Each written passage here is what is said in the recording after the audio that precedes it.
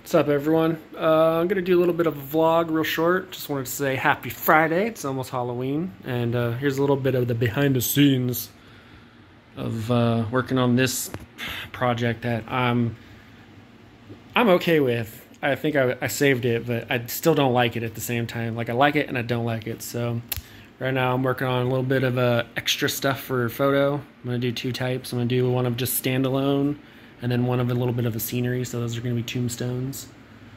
Here's some of the wraps that I've been working on with plaster cloth. Um, this one was goofed, so it just sits there. I just test paint on it. Um, here's a. Uh, if you're looking facing at the Gundam, it would be the. It's going to be the left shoulder, period. If you're standing where the Gundam is, and the right forearm and hand. Uh, so yeah, there's the the weapon. I still gotta attach this. I'm having problems for some reason with it not sticking with um, either type of glue, but um, I am gonna get it on there, even if it is just momentary for a picture. I know that's kind of a cop out, but uh, until I can like permanently get it on there somehow, I've tried model glue and uh, you know uh, even um, what's it called?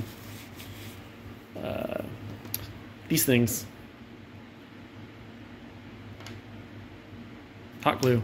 That didn't work. I, and I know hot glue wouldn't work, but I wonder if it's because this is piece is metal, and um, this is a uh, plastic. So I got all the paper towels from like all the Tamiya weathering shit I use stuff. I mean, I uh, mixed it with some paint too to make some like some of this effect on this thing. But um, yeah. So gonna get this all cleaned up and uh, get a photo shoot done. So. There's a lightsaber. So yeah, it's a little bit of behind the scenes. I'm gonna do some redecorating. So take care, everyone. Have a happy Friday.